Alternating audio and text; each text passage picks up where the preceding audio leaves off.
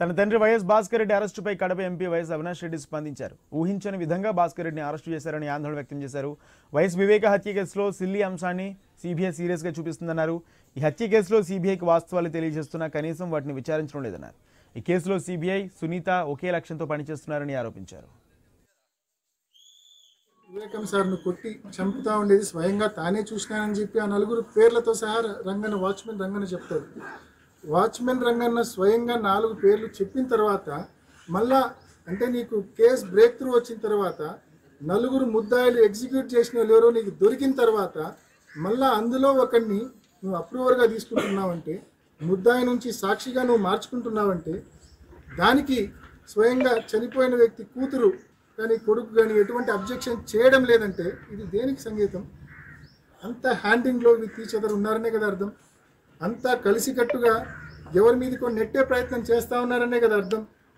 ఎంతో తెలివిగా మామూలుగా ఈ ఇండియన్ ఎవిడెన్స్ యాక్ట్ ప్రకారం ఈ అప్రూవర్ యాక్ట్ ప్రకారం అప్రూవర్ చేసిన తర్వాత కేసు మొత్తం ట్రయల్ పూర్తయ్యే వరకు జైల్లోనే ఉండాలి.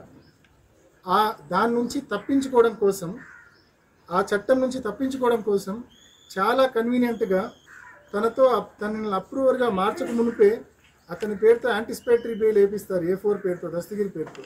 యాంటిసిపేటరీ బెయిల్ వేపించి సిబిఐ స్వయంగా కడప కోర్టులో కౌంటర్ వేస్తుంది నో అబ్జెక్షన్ తెలుపుతుంది. మాకు ఎటువంటి అబ్జెక్షన్ లేదు ఇతనికి బెయిల్ ఇస్తే అని చెప్పి. సో ఆటోమేటిక్గా బెయిల్ వస్తుంది. అంటే ఈ రకంగా అతనికి యాంటిసిపేటరీ బెయిల్ మీరు ఇప్పించడము ఎటువంటి అపోజిషన్ లేకుండా ఎటువంటి అబ్జెక్షన్ లేకుండా ఇప్పించడము. దీనికి సునీతమ్మ ఈరోజు ఎవరు బెయిల్ పిటిషన్ వేసినా గత రెండేళ్ళుగా సునీతమ్మ వెంటనే ఇంప్లీ ఇంప్లిమెంట్ పిటిషన్ వేస్తూ ఉంది. మీరు చూస్తూ ఉంటారు. ప్రతి దాంట్లో ఇంప్లిమెంట్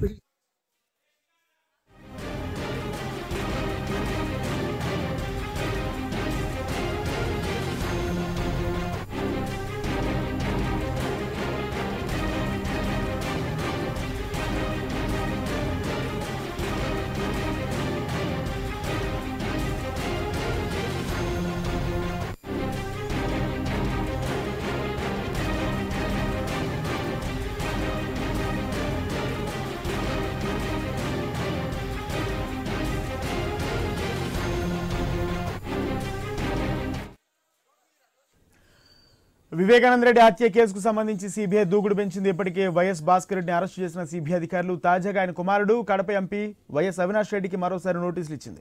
సోమవారం మధ్యాహ్నం మూడు గంటలకు హైదరాబాద్లోని సీబీఐ కార్యాలయం ఎదుట విచారణకు హాజరవ్వాలని నోటీసుల్లో పేర్కొంది. ఈ నేపథ్యంలో ఏం జరుగుతుందోనని వైఎస్ కుటుంబ సభ్యులు వైసీపీ శ్రేణులు ఉత్కంఠగా ఎదురుచూస్తున్నారు. అంతకుముందు వివేకానంద రెడ్డి హత్య కేసులో YS Bhaskar Reddy CBI court పద్నాలుగు రోజుల జ్యుడిషియల్ రిమాండ్ విధించింది.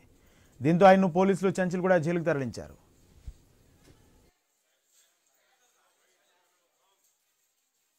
గురించి మరింత సమాచారం మా ప్రతినిధి అజయ్ అందిస్తారు. అజయ్ చెప్పండి మొత్తంగా ఇప్పటికే అవినాష్ రెడ్డి కూడా నోటీసులు అందినట్టు కూడా తెలుస్తుంది. పూర్తి అప్డేట్స్ ఏంటి? వైఎస్ వివేక హత్య కేసు సంబంధించి ఇప్పటికే సిబిఐ దర్యాప్తు అనేది వేగవంతం చేసింది అనేది మనం ముందు నుండి చెప్తున్న అంశం. ఎందుకంటే అత్యున్నత న్యాయస్థానము ఏప్రిల్ ముప్పై లోపు ఈ కేసు సంబంధించిన ఇన్వెస్టిగేషన్ పూర్తి చేయాలి అంటూ ఒక డైరెక్షన్ ఇచ్చిన నేపథ్యంలో ఇప్పటికే ఈ కేసు సంబంధించి ఈ రోజుతో అంటే అవినాష్ రెడ్డి ఎంపీ అవినాష్ రెడ్డి ఫాదర్ భాస్కర్ రెడ్డిని అదుపులోకి తీసుకున్నారు అరెస్ట్ చేశారు రిమాండ్ తరలించారు.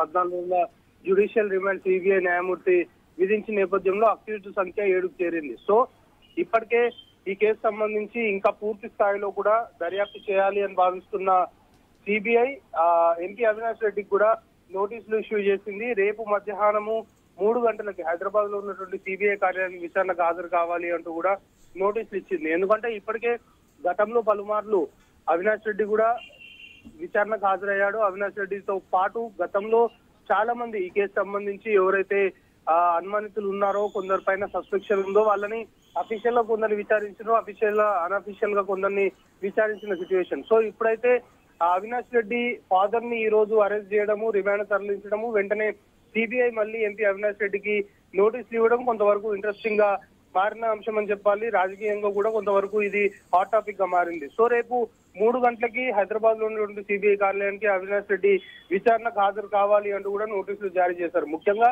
ఈ కేసు సంబంధించి ఎవరెవరు ప్రమేయం ఉంది ఎవరెవరు పాత్ర ఎంతవరకు ఉంది ముఖ్యంగా ఎవరు ఇన్వాల్వ్ అయ్యారు అనే కోణంలో పూర్తి స్థాయిలో సిబిఐ ఎస్టాబ్లిష్ చేసే యోచనలో ఉంది కాబట్టి ఆ ఎవిడెన్స్ సేకరణ అనుకోవచ్చు. ముఖ్యంగా గతంలో అరెస్ట్ అయిన అక్యూజ్డ్ ఎవరైతే ఉంటారో వాళ్ళు ఇచ్చిన స్టేట్మెంట్స్ ఆధారంగా పూర్తి స్థాయిలో ఎంక్వైరీ చేస్తున్న సిచ్యువేషన్ ప్రస్తుతం నెలకొంది. సో ఇప్పటికైతే ఎవరి పాత్ర ఏంటి అనే దానిపైన సిబిఐ మాత్రం ఒక పక్క ఎస్టాబ్లిష్మెంట్ అయితే చేసుకుంది. వాళ్ళకి సంబంధించిన ఆధారాలు ముఖ్యంగా టెక్నికల్ సైంటిఫిక్ ఎవిడెన్స్ మొత్తం కూడా సేకరించిన పరిస్థితి. ఈ రోజు కొద్దిసేపటి క్రితమే మనం చూసాము అవినాష్ రెడ్డి ఫాదర్ భాస్కర్ రెడ్డిని పద్నాలుగు రోజుల జ్యుడిషియల్ రిమాండ్ తరలించిన తర్వాత వెంటనే అవినాష్ రెడ్డికి కూడా నోటీసులు ఇవ్వడం విచారణకు హాజరవ్వడం చెప్పడం వెనుక కొంతవరకు ఆసక్తికరమైన పరిణామం అని చెప్పుకోవాలి. రేపు ఏం జరగబోతుంది అనేది కూడా కొంతవరకు చూడాల్సిన అవసరం ఉంది. కానీ ఈ ఎంటైర్ ఇష్యూకి సంబంధించి కొంతవరకు సెన్సేషనల్ కేసుగా మారిన నేపథ్యంలో ఆ అసలు ఆ దీని వెనకాల ఎవరున్నారు? ప్రత్యక్షంగా కావచ్చు పరోక్షంగా కావచ్చు